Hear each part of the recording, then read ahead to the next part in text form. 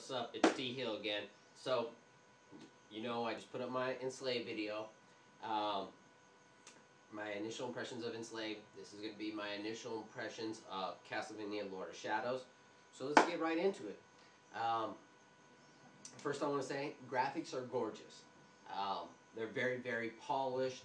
Um, there's some trickery being done, but it looks, the overall presentation looks beautiful. The character models are sweet. Um, there's some scene, I don't want to ruin any story for you guys or any scenes that if you've seen them on like game trailers or IGN, uh, there are some spectacular and seeing it on you on videos on uh, internet do not do it justice. There are some really nice polished parts, uh, especially there's one with the werewolf and the rain's coming down, and it just looks really really well done. The animations are super believable, fluid, just really crisp and clean.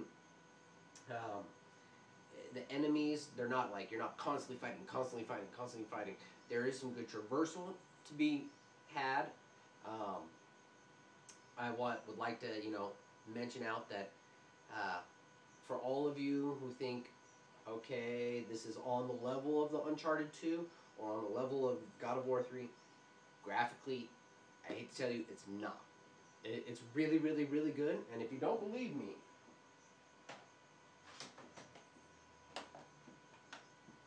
God of War 3. So, yeah. I have them both.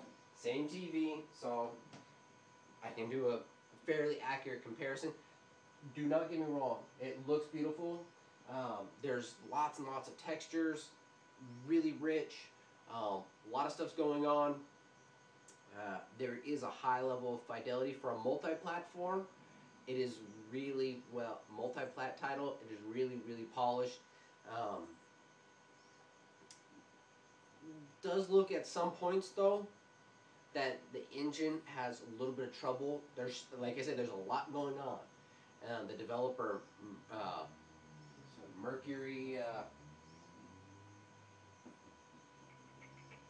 Mercury Steam, I can never remember the name, uh, the same people who did Jericho, they they had very ambitious with this title. Uh, so far, the like the attacks feel really really weighty, and I like it. It makes it feel like you are having an impact on the enemies. Um, and you don't see that so much in games. Enslaved tries to do it with a cinematic flair, but Castlevania, when you hit it feels like you hit. That character, the enemies don't just like walk through it and but take damage. No, they react to the damage, and I, I like that. To me, it's more believable for the type of environment. Enslaved does the same thing, uh, but it's more of a cinematic flair. If you're just regular attacking, it doesn't feel weighted. With Castlevania, it feels like there's a weight behind it, and it's mainly because it's very geared towards action. Um, you know, it's following the, uh, God of War formula. Um, voice acting really well done. I like how you can find scrolls and you know a lot of people are like oh this is gonna be boring. For me I enjoyed it where you can pick up scrolls and get like history on what's going on. Like this character is dead and you find a scroll and you read about the last moments of their life or what they were trying to accomplish before they passed away. Um, you know, I won't get into too much detail for where I'm at, I played about two hours of it since I got home from work. I, I don't know if you can see this too well. There's a, it's really fluid. Um, there's a, like I already went through one boss fight, um, and I love it. I, I love how they, the camera does this really cool feature to keep it nice and cinematic, where it like kind of drops, at least for this boss fight, I, I, you know, I haven't gone that far yet. It drops back, and like, so your character is always like faced in on the enemy. Um, so as you move left or right, the camera will have this like really nice cinematic like curving and like arcing to it. Um, it really draws you in. And uh, a lot of games when you fight bosses, you know, you can rotate the camera.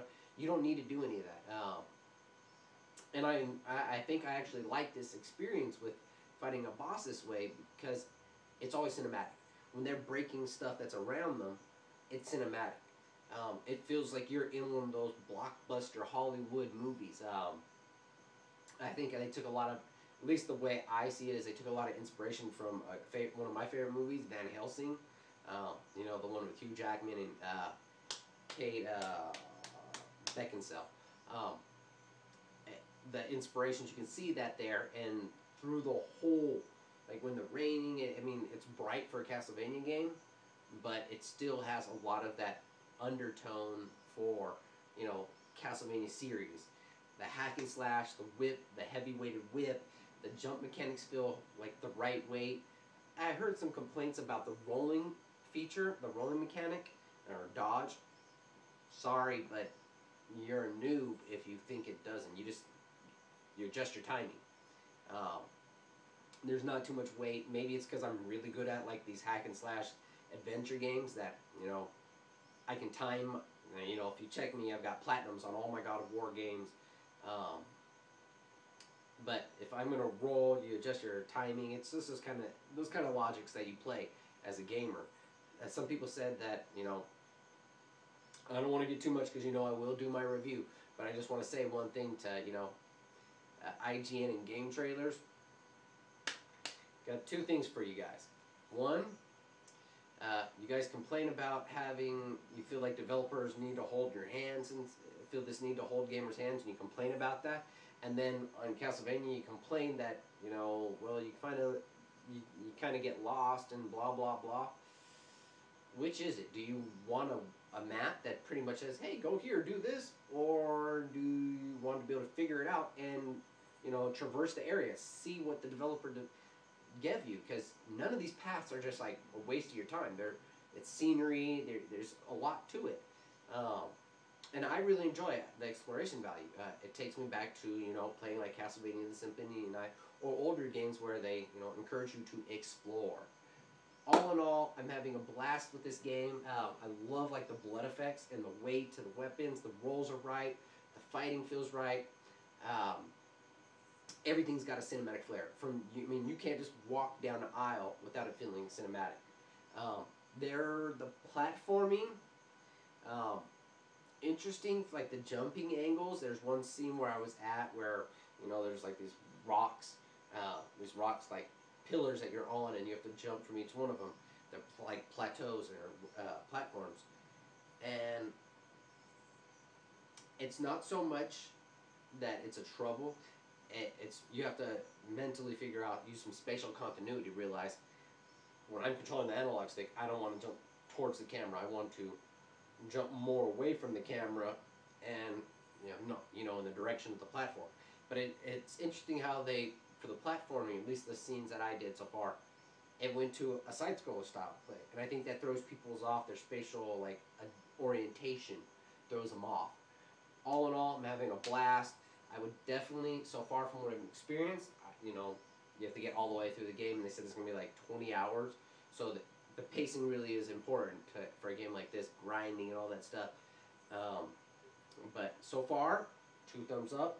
Enjoying like hell. I'm going to get back into it. Um, you know, tomorrow I'll give you an update of where I'm at. Um, let me know what you think. If you like my the video, if you think I just I'm retarded, I don't know what I'm talking about that's fine too. Rate my video up. If you don't like it, rate it down.